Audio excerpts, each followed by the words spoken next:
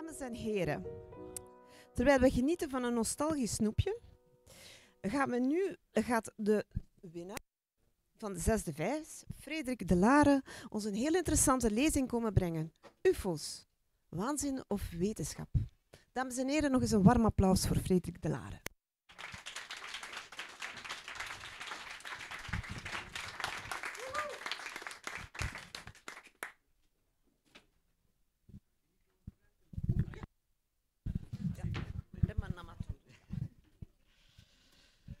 Ja, eerst en vooral wil ik uh, Skept uiteraard van harte bedanken voor deze fantastische prijs. Het is voor mij een hele eer om deze van jullie te mogen in ontvangst nemen. En ik kan het niet beter omschrijven dat ik in de zevende hemel ben met deze zesde vijs. Uh, ik ben nu ongeveer 25 jaar met UFO's bezig en ik heb al heel veel geleerd in, in die periode. Ik heb uh, de meest oprechte getuigen ontmoet, maar ook heel wat zweverige mensen. Uh, hoe dan ook, uh, deze prijs is een erkenning dat er inderdaad op een serieuze, kritische manier met UFO's kan worden omgegaan. Het UFO-probleem is reëel, dat kunnen we niet ontkennen. Reëel in de zin van dat ieder jaar toch 200 mensen ongeveer iets vreemds waarnemen in de lucht en daar geen verklaring voor hebben. En dan proberen wij inderdaad met de mensen van het meldpunt die mensen verder te helpen. Uh, getuigen moeten immers een verklaring krijgen voor wat ze hebben waargenomen. Um, Daarnaast is er ook heel veel onzin die de ronde doet over UFO's. En ook dat proberen we te ontkrachten. Want wij zijn de mening toegedaan voor iemand, uh, wanneer iemand een straffe uitspraak doet, een, een, bepaalde theorie gaat verkondigen dat bijvoorbeeld UFO's buitenaardse wezens zijn, dan verwachten we daar ook een strafbewijsmateriaal voor. En dat hebben we tot op heden nog niet ontvangen. Uh, ik wil nog een aantal mensen ook bedanken, naast de mensen van Schep. Namelijk eerst en vooral mijn echtgenoot en mijn kinderen, omdat die mij al vele duizenden uren hebben moeten missen door de UFO-hobby. Dank u wel. Ook uh, mijn mentor en medeoprichter van het Meldpunt, Wim van Utrecht. Als uh, jonge knaap van uh, eh, 15 jaar. ik was de, eerste, het was de eerste man die ik toen aanschreef. En hij heeft me toch wel de, de weg gewezen naar het kritisch denken als het over UFO's gaat. Ook uh, Mark Broeks. Uh, het was dankzij hem dat ik mijn eerste UFO-congres kon meemaken als 15-jarige. Iets wat ik nooit zal vergeten. En uh, ja, hij heeft ook altijd uh, mijn belangstelling blijven aanwakkeren voor het fenomeen. En als laatste uh, Dave en Henk, de andere medewerkers van het meldpunt, omdat die toch op ja, vrijwillige basis dagdagelijks meehelpen de UFO-meldingen te beoordelen. Ik heb een kleine voordracht meegebracht vanavond. Inderdaad, waanzin of wetenschap, UFO's, we kunnen daar toch iets over vertellen. Ik begin in feite mijn, mijn voordracht met een kleine ontgoocheling, naar mezelf toe dan, want ik vind dat UFO's vroeger meer charme hadden. ze hadden klinknagels, laddertjes, waar ja, wezentjes uitkwamen. Tegenwoordig zijn ze een beetje ja, futuristischer geworden. Ze, ze, hebben, uh, ze kunnen plots verschijnen, plots verdwijnen. Uh, en dat vind ik wat jammer. Ik, ik mis zo wat die, die sfeer van vroeger. Maar dan zou je kunnen denken, een, een terechte vraag stellen, lijkt het dan niet of die ufo's met de tijd mee evolueren? Een beetje verdacht vind ik dat altijd. Ze zitten natuurlijk in onze cultuur ingebakken, hè, zoals uh, daar straks verteld werd. In de jaren 50 doken al de eerste UFO-films op, uh, over, over UFO's. Dus ja, we, we, kunnen er niet onderuit als we het woord UFO uitspreken is de link naar het buitenaardse heel vlug gelegd. En dat vinden wij natuurlijk heel spijtig. Want ik keer even terug naar de eerste afbeelding. Er wordt gezegd, de eerste officiële UFO-onderzoek gebeurde in 1947. Wel, die tekening dateert van 1929. En dan kunnen we ons de vraag stellen, denk ik, lieten de science fiction schrijvers zich inspireren door de getuigen, of waren het de getuigen die zich lieten inspireren door de science fiction schrijvers? Wie zal het zeggen? Ja, zijn die UFO's interessant voor een wetenschapper? Hè? Uh, er zijn heel weinig wetenschappers die met UFO's bezig zijn en er zijn een aantal redenen voor. In de eerste plaats, het fenomeen is niet of zelden meetbaar. Uh, het grootste deel van de zaken die we binnenkrijgen zijn waarnemingen. 90% zijn mensen die UFO's zien. Het wordt voor een wetenschapper interessant wanneer we gaan uh, spreken over foto's, video's of radarbeelden. Daarnaast zijn er heel veel sensatieverhalen over UFO's, dat hoef ik er niet te vertellen. En dat zorgt natuurlijk voor een heel negatief imago. Reacties van collega's. Een van de medewerkers van het meldpunt uh, heeft een wetenschappelijke opleiding genoten. En uh, zolang die man nog actief was in het beroepsleven, mocht zijn naam in geen enkele publicatie verschijnen. Nu is die man op pensioen, die mag het wel. Maar dat was voor mij toch een indicatie van, het ligt hier wel zeer gevoelig bij, bij wetenschappers. Als je zegt van, ik hou me met ufo's bezig. En het zijn vooral de zelfverklaarde ufologen. Ufologen vind ik een verschrikkelijk vies woord. Uh, zelfverklaard, dus u kan morgen zeggen, ik ben ufoloog, daar bestaat geen enkele opleiding toe. Uh, het is vooral zelfstudie. Uh, ja, de zelfverklaarde ufologen zijn daar oorzaak van, omdat er enorm veel amateurisme in, in, die, in die midden zit natuurlijk. Hè. En er is, heb ik ervaren, de drang is groter om een mysterie levendig te houden dan het te gaan verklaren. En dat is toch ook wel een, reden waarom wetenschappers zich daar zo ver mogelijk willen van afhouden. We hebben de pro's en de contra's, zal ik vlug even toelichten. Uh, de pro's, ze noemen ook wel de believers genoemd, uh, die geloven dus dat bepaalde ufo's buitenaard zijn. Maar daar houdt het niet op. Er zijn ook believers die denken dat het tijdsreizigers zijn, dat wij zelf zijn die, die terugkomen en ons, onszelf komen bezoeken. Of er zijn uh, believers die denken dat ze uit de holle aarde komen, dus de, de aarde hol en daar zitten ja, wezens in die naar, naar boven komen nu en dan. Hè. Uh, ze zijn heel vaak blind voor verklaringen. Wanneer we een, UFO-melding kunnen verklaren, gaan ze dat meestal niet aanvaarden. Ja, we hadden soms niet anders verwacht natuurlijk. En verwijten de contrast dan weer dat we bewijsmateriaal gaan negeren. Wel, dan zijn we bij de contrast of die non-believers aangekomen. Uiteraard geloven die niet in de buitenaardse theorie. Uh, ze zoeken voor iedere uh, melding een logische verklaring. En ze stellen de werkwijze van de believers in vraag. Want dat is ook wel heel belangrijk. Er zijn namelijk een aantal believers die regelmatig in de pers komen ook, en waar we toch ook wel de mensen voor willen waarschuwen. Ik noem ze de boodschappers van de waarheid. In België hebben we Bart Uiterhagen. En Bart Uiterhagen is uh, de oprichter van het Buffon, Belgisch UFO-netwerk heet hij het. Eh, en die man uh, ja, die, die verkondigt allerhande theorieën die tot complete onzin zijn. Vorig jaar zaten we samen in een Nederlands programma op de Nederlandse televisie. En ze hebben toen ook Bart even aan het woord gelaten, ook zijn organisatie. En wat gebeurde er in die, die korte reportage? Bart ging met zijn medewerkers naar buiten, uh, gewapend met lampen, ging ze in de lucht schijnen om de UFO's te, te contacteren, zeg maar. Ja. Dus ja, dat, daaraan zie je natuurlijk al het niveau van uh, Bart zijn werkzaamheden. Hè. In Nederland, jullie waarschijnlijk wel een bekend persoon, Koen Vermeeren, heeft al een enkele boeken over UFO's geschreven. En het blijkt dat Vermeeren alle informatie klakkeloos van het internet haalt. Uh, is ook niet uh, vatbaar. Uh, als we bepaalde dingen dan aan hem gaan aanbrengen, dan negeert hij dat natuurlijk. Maar Koen uh, schrijft ook boeken over 11 september, bijvoorbeeld uh, complotten. Je kan het zo hek niet bedenken. Dus twee gevaarlijke mensen waar je zeker moet van oppassen. We kunnen iets vertellen over mensen die UFO's zien. We zien, we zien nu UFO's, mensen van alle leeftijden. We hebben nog meldingen binnengekregen van kinderen, dat de ouders dan een, melding bij ons doen, tot heel oudere mensen. Uh, alle treden van de maatschappij, de poetsvrouw, de arts, de piloot, noem maar op. Iedereen ziet ze wel eens vliegen.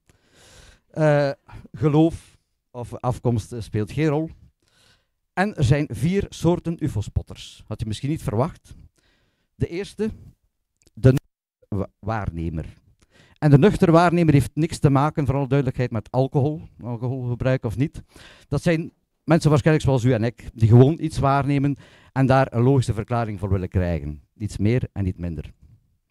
Dan hebben we de seriemelders. De kans dat je een UFO ziet is heel klein. Dat zeg ik u alvast. Ik heb, uh, ja, ik kan het straks vertellen. Maar um, seriemelders, we hebben er zo al enkele gehad. Ik herinner me een, een man uit Limburg en die had op drie maanden tijd 90 UFO's gezien.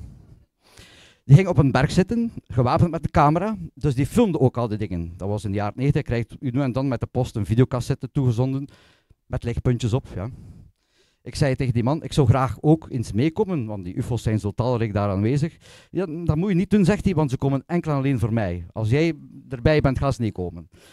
Goed, um, dan hebben we toch de beelden maar bekeken en bestudeerd. En um, van de 90 ufo's waren er 89 vliegtuigen.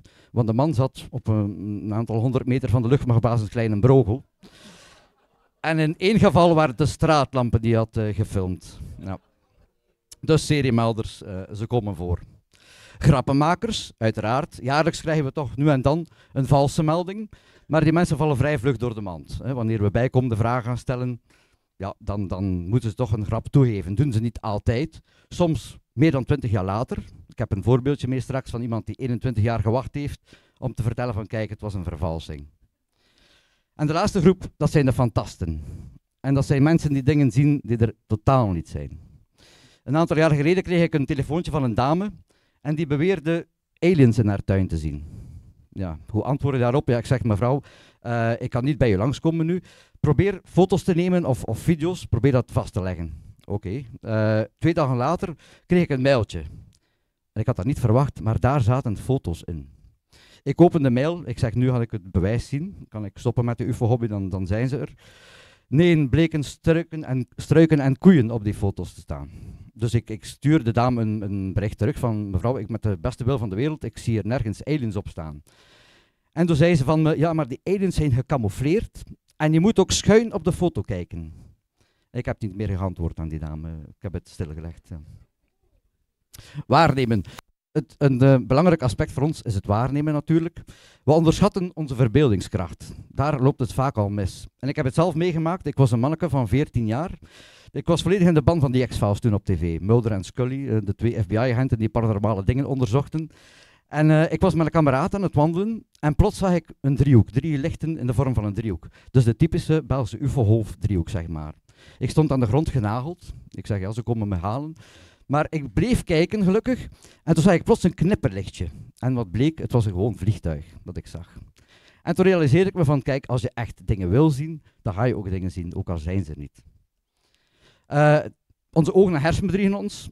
Ik heb een aantal voorbeeldjes straks meegebracht van natuurlijke fenomenen die kunnen voorvallen, waardoor dat je ook dingen ziet die er eigenlijk niet zijn. Uh, het is vaak een onverwachte gebeurtenis. Ik vergelijk het altijd een oud ongeval. Je hebt vijf getuigen van dat ongeval. Zul je vijf verschillende versies horen van wat zich daar heeft afgespeeld natuurlijk. Een voorbeeld van waar het misloopt, de maan. Mensen denken wanneer de maan laag aan de horizon staat, dat die groter is dan wanneer die hoog staat. Klopt totaal niet. Een muntstukje van, van 5 mm op armlengte zal altijd de maanschijf bedekken.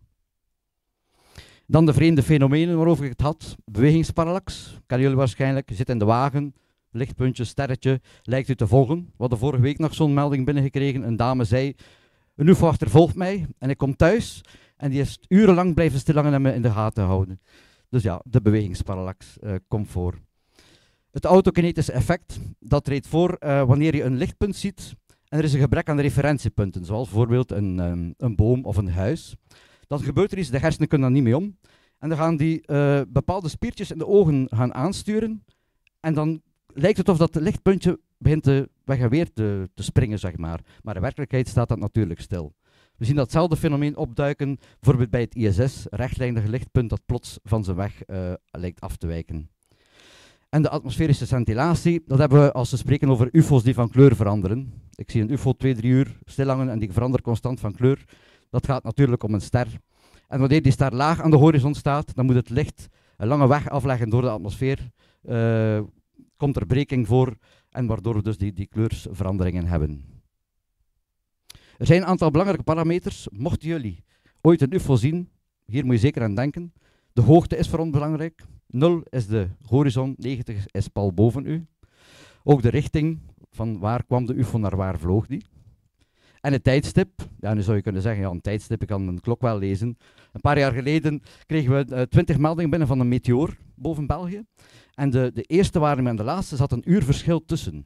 Dit terwijl we weten dat de meteoor 2, 3 seconden zichtbaar was. Dus mensen kunnen zich toch wel degelijk vergissen in een, in een tijdstip. En ook een datum is natuurlijk belangrijk omdat we dan bepaalde gegevens kunnen opzoeken. De UFO's ontmaskerd, dat is een beetje onze specialiteit. Dan maken we van de UFO's IFO's. Identified Flying Objects. En ik heb een aantal foto's meegebracht, video's. En wie zin heeft mag mee raden wat op die foto's of video's te zien is. Dat zijn lichtpunten die in de jaren goh, 2010 veelvuldig werden gemeld. Rode kleur, flikkeren, soms alleen, soms in groepen. Ook veel met oud en nieuwjaar, zo'n beetje diep.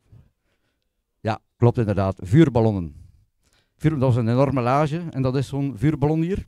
Dus een papieren zak met zo'n kaarsje erin en dan uh, door de warme lucht stijgt die op natuurlijk.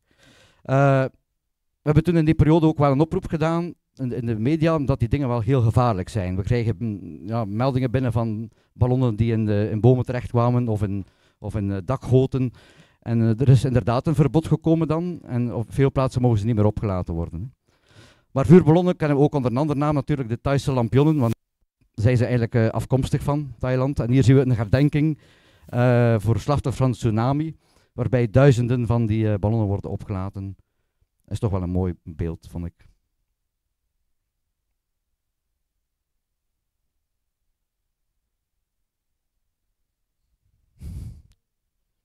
plaatselijke UFO-golf.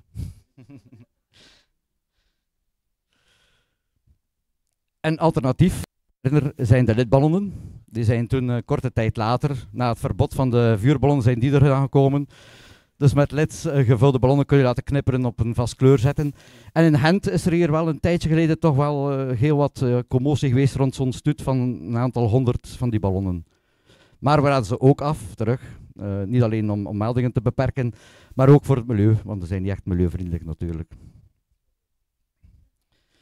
De man die deze foto doorstuurde, beweerde twee zonnen te zien. Rechts de zon en links, kent het waarschijnlijk wel, het is een bijzon natuurlijk. Hier heb ik nog een zo'n foto, een hallo met bijzonnen.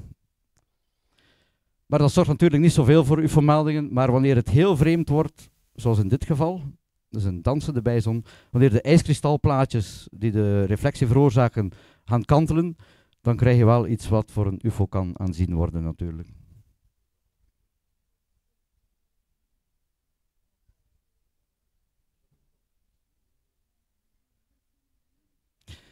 Deze UFO krijgt ook wel soms de naam koningin UFO's. Soms heel lange tijd waar te nemen. Iemand een idee? Venus, inderdaad. De heldere planeet Venus. Um, een UFO met een, lijkt een koepeltje. De dame die dat had gefotografeerd beweerde dat de UFO op 150 meter boven een veld zichtbaar was.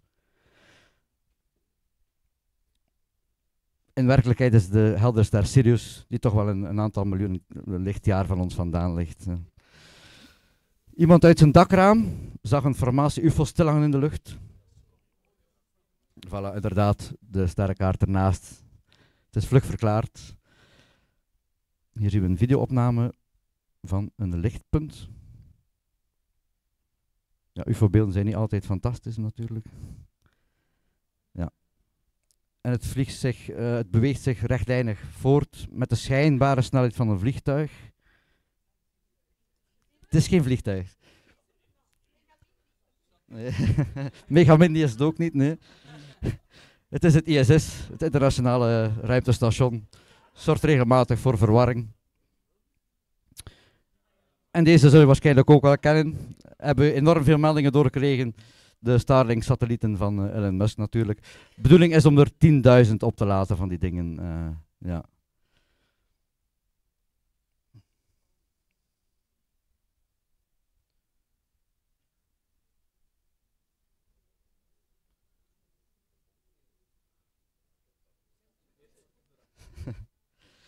Het is, het is gewoon een vliegtuig inderdaad. En zoals ze zegt met de contrail, niet met de chemtrail. Uh, en uh, door de lage stand van de zon uh, kleurt die oranje. Dus, maar ook daar vergissen mensen zich nog in. En dus een sportvliegje dat je ziet met iets anders. Je hebt een tijdje moeten naar zoeken om die verklaring te vinden. Het is al een paar keer ook in de kranten gekomen dat... Nee. Het is de Vergees Delta. En de Vergees Delta is ontworpen en gebouwd door Bar Vergees, een ingenieur uit Limburg. En ja, die man vliegt daar heel regelmatig met rond boven ons land. En als we hem aanschrijven, antwoordt hij wel, ik heb daar gevlogen inderdaad. Um, hij heeft ondertussen een tweede toestel gebouwd, iets groter, uh, de D2, waar twee mensen in kunnen nu uh, tegenwoordig. Ja. En vooral de onderkant zorgt voor verwarring natuurlijk.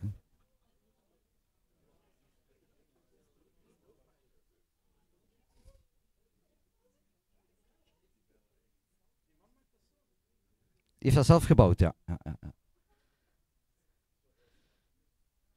Vorig jaar kregen we boven de, de bovenstaande foto binnen en een Nederlands meldpunt kreeg de onderste drie foto's. En soms moet je niet lang zoeken. Als je kijkt wat het is, op wat lijkt het een... bijna, bijna juist.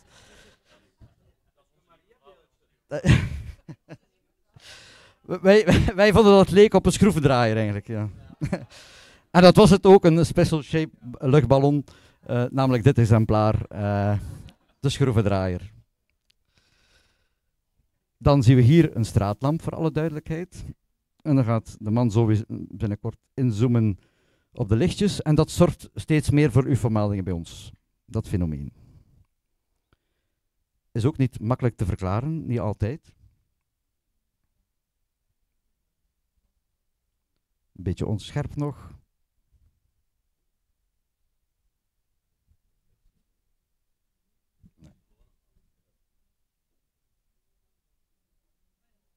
Ja, klopt inderdaad. Een drone.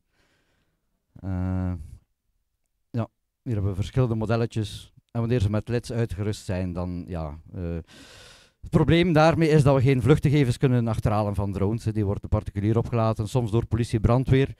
Maar ja, de beschrijving meestal, iets wat kan lang een vlug wegvliegen, zoemend geluid, uh, weten we vrij vlug dat het toch om een, om een drone gaat. De man die deze foto doorstuurde, wou een foto nemen van de tractor in het midden van de foto en zag plots dat schijfje in de bovenhoek. Ja, klopt inderdaad. Uh, maar toch, ja. Mensen sturen het nog altijd door. Ja. Dat is een beetje hetzelfde genre. Maar hier hebben we niet te maken met een vogel, maar met een dikke bromvlieg. Zonder fiets. Ja, ja. Dus dat komt ook wel voor. Een UFO die de kathedraal in Antwerpen bestudeert. Schijnwerper van een helikopter. Dit is een uh, uitzonderlijk fenomeen. Uh, hier hebben we te maken met lichtzuilen, inderdaad. En lichtzuilen die ontstaan meestal door een zeer heldere lichtbron op de grond. Meestal gaat het om uh, vlammen van de petrochemische bedrijven, wanneer die afvakkelen. En die vlammen gaan reflecteren op miljoenen ijskristallen op kilometers hoogte. En dan krijg je zo'n zo'n uh, lichtzuil die ik denk van op 30, 40 kilometer afstand uh, waarneembaar is. Je zou denken, dit zijn ook lichtzuilen, maar dat zijn het niet. De man die deze foto nam, heeft niks gezien. Heeft toevallig de foto genomen. Hier hebben we te maken met lensreflecties inderdaad. De, de straatlampen reflecteren in het lensensysteem van het toestel. En dan krijg je van die hekken, hekken dingen.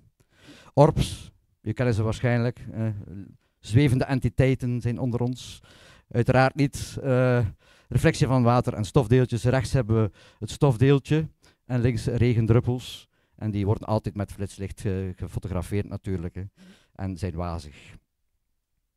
Dit is toch wel een, een tamelijk echte UFO. Inderdaad, het is een trucage. Gemaakt door Wim. Het is een model en een touwtje. Het is een, een dat aan de bovenste tak hinder hangt. En door de auto die juist komt aangereden krijg je een beetje dat perspectief dat de grote schotel ver weg hangt in de lucht. Nog een ufo tussen de bergen.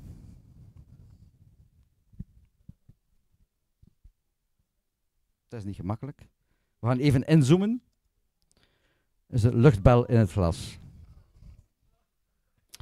Ik heb deze UFO gefilmd hier, uh, ik denk twee jaar geleden, uh, bij mijn ouders thuis. Zo'n driehoekig toestel dat heel rare manoeuvres maakte. Maar het was in feite gewoon een stukje karton dat ik op het raam gekleefd had en, en een beetje met de camera gespeeld. En dan krijg je zo'n effecten. En die is weg. Voilà. Als, uw als uw budget wat groter is, dan kun je zo'n uh, vervalsingen maken. En, een filmpje dat op YouTube de ronde gedaan heeft. En um, ja, het is van een kunstenaar. En toch wel heel mooi gemaakt, vind ik zelf. Dan zijn we toegekomen bij de, de Belgische UFO-golf. Kort. Hè. Dit was een UFO, een enorme bekende cover toen in der tijd. En toen ook de dia op, de Petit Richard dia, gefotografeerd door Paul Marichal in Petit Richard dus. En uh, ja, men, men had plots bewijs. er waren duizenden UFO-waarnemingen in die periode en plots kwam hij met, met ja, zijn fantastische dia. Uh, hij werd onderzocht, onder andere door de militaire school, en men kon daar geen verklaring voor vinden. Tot mijn collega Wim van Utrecht zei, ik ga dat toch eens proberen na te bootsen. En toen heeft hij een stukje karton genomen, lichtjes ingeprikt. En wat mij betreft vond ik die toch wel goed geslaagd, die vervalsing. Maar dat kon niet. Nee, dat waren speciale aandrijvingen en die lichten en zo. Uh, onder andere uh, professor Meesen van Sobib zei dat en dat kon niet op die manier gemaakt zijn. Dat was te simpel. 21 jaar later, daar is hij, Paul Marichal, met een piepschuimmodel. Hij heeft dus wel degelijk toegegeven dat hij, uh, ja, de UFO in, scène gezet had. Hè. Maar ondertussen staat die UFO-foto natuurlijk in talloze UFO-boeken. Staat hij nog op het internet als zijnde authentiek. Terwijl natuurlijk uh, zo'n ja, zo'n verhaaltje blijft wel hangen natuurlijk. Hè. En hier heeft hij het zo opgehangen.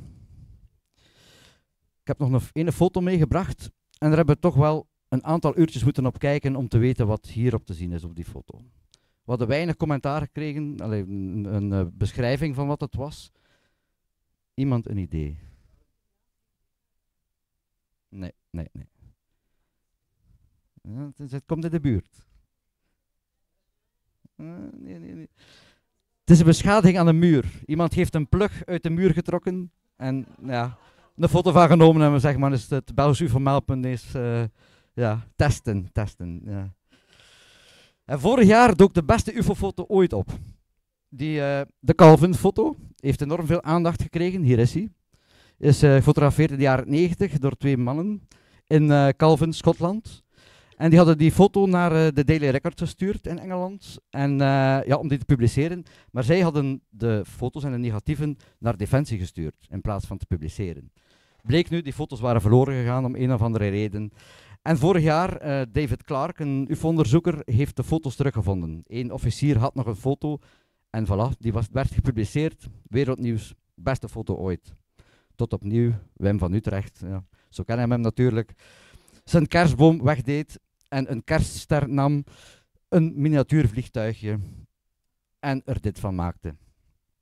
Dus als de twee naast elkaar leggen, zijn er toch wel een groot aantal uh, overeenkomsten, denk ik dan. En kunnen we best zeggen dat die uh, Calvin-foto niet zo goed is als ervan beweerd wordt. 2007 zijn we dus begonnen met het Belgische UFO-meldpunt. Ik en Wim. Toen, en uh, ondertussen zijn er ook een aantal medewerkers bij ons geweest. we hebben een aantal doelstellingen. Dus mensen, eerst en vooral, moeten terecht kunnen ergens met hun waarneming. Want dat was inderdaad een probleem, een probleem in die periode.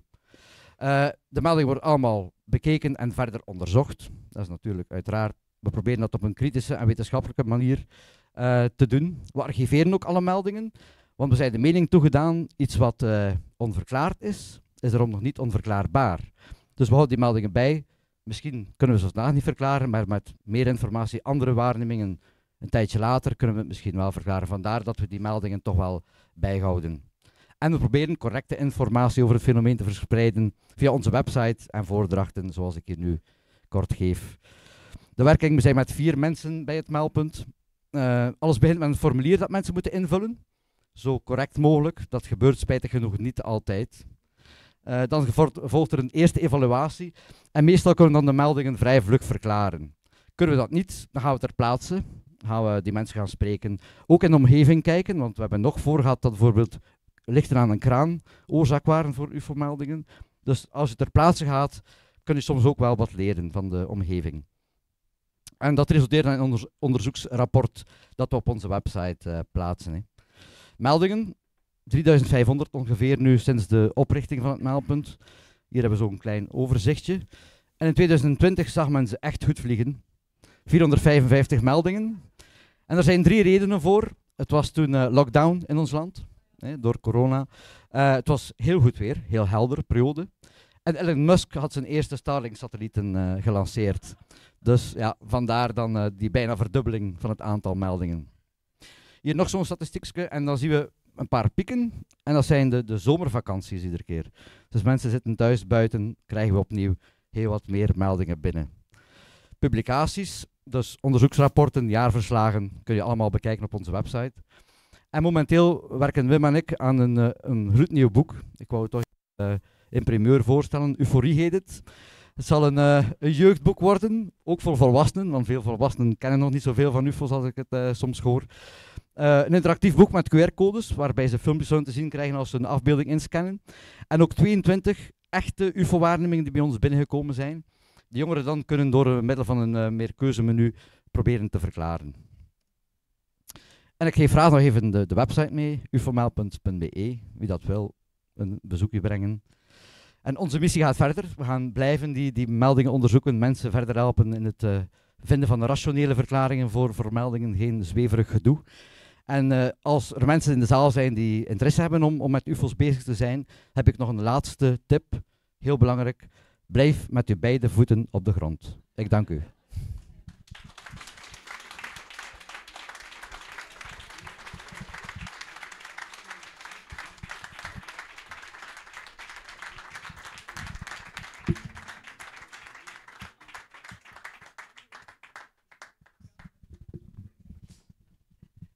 Dames en heren, er is nog een klein cadeautje voor iedereen. Namelijk het boek 75 jaar bestaan van UFO's, geschreven door Mark Broeks. De auteur is aanwezig. En u kan dit boek vinden hiernaast. Dus dit boek wordt u aangeboden. Hiernaast vindt u ook de boekjes van Skep, maar die zijn wel.